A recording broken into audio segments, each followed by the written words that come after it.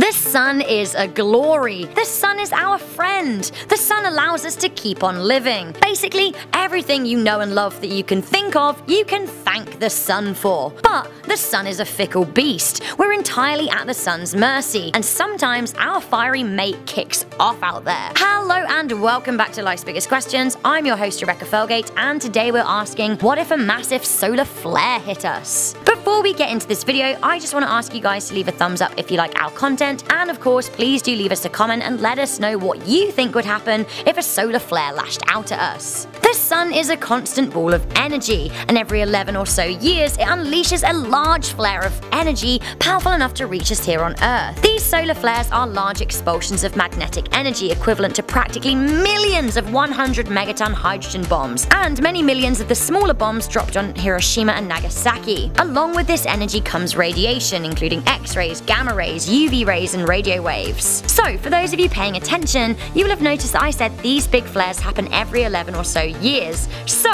you've already encountered one if you're watching this video. The most recent notable solar flare happened in September 2017, when the sun spat two X-class flares at the Earth. Now this was the biggest in 12 years, but evidently we're still standing.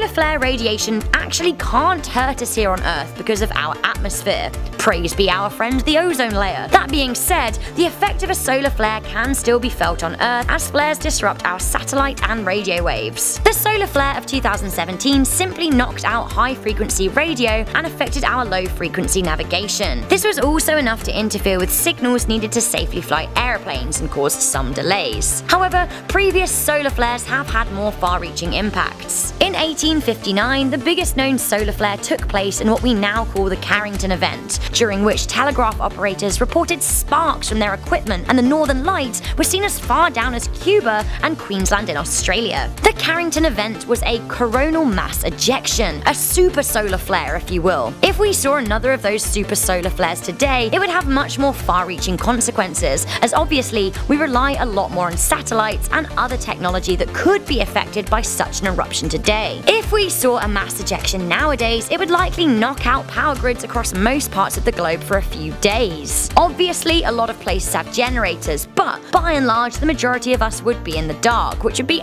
absolute chaos for business. No power, no economy. In this period of darkness, the world would likely descend into a veritable chaos with communications down in most parts. Of course, this would leave a lot of places vulnerable to looting and other such crime. Travel would be a nightmare for days following a super solar flare, with plane travel out of the question for the period in which the Earth is blasted. And of course, electronic trains or anything affected by the messed up power grid would be a no-go. Can you even imagine how people would be without their cell phones too? That's right, no YouTube for you while cell signals and Wi-Fi operators are messed up.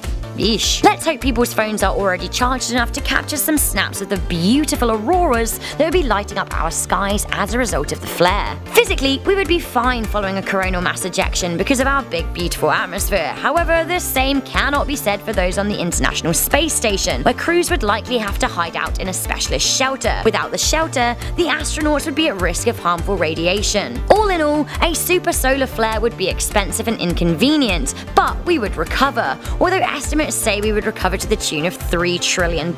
Although who can really stay mad at the sun, what with all the life it brings us? So that is one big question answered for you. What would you like us to answer next? Perhaps you'd like to hear something about the magnetic fields flipping. I'm ready to answer all of your questions. If you like this video guys, please do make sure you leave us a good thumbs up, leave us a comment, share this video with a friend, and stay subscribed for more big answers. For now, I'm your most amazing host Rebecca Felgate. I'll catch you in the next video, but until then, stay curious, stay Stay alert and never ever stop questioning. If you want to check out more of our life's biggest questions, then why not watch our biggest history questions playlist and our biggest science questions.